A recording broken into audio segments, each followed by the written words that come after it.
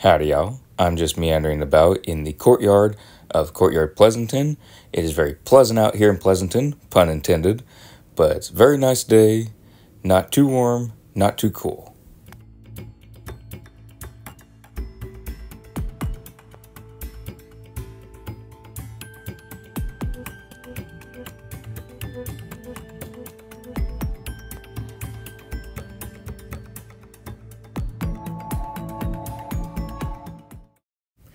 Very nice and peaceful in the courtyard of the Courtyard Hotel.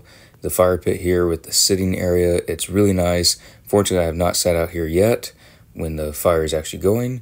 There is a pool, but it has bars around it, so it's kind of an eyesore, but I know they have to do that for legal reasons. But still, it's a bit of an eyesore in the middle of this wonderful courtyard.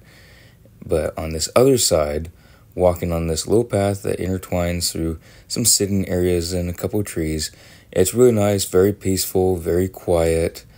It's a nice spot to just go outside and sit, especially if y'all are traveling for business or if y'all are busy, such as myself.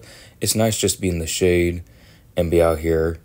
The only thing though is everyone's windows face out to you, so if you're trying to have a little moment to yourself, you're trying to work on business, you don't want people staring at you, everyone's windows are looking at you. So that's the only downside. But it is really nice just kind of cutting through the hotel, not having to walk through the hallways all the time. Just a nice little open spot, nice and peaceful. And it's just something different. Not very many hotels have this, and I really like it. It's really pretty, it's well maintained. The trees have all kinds of flowers on them. The sitting area is really nice.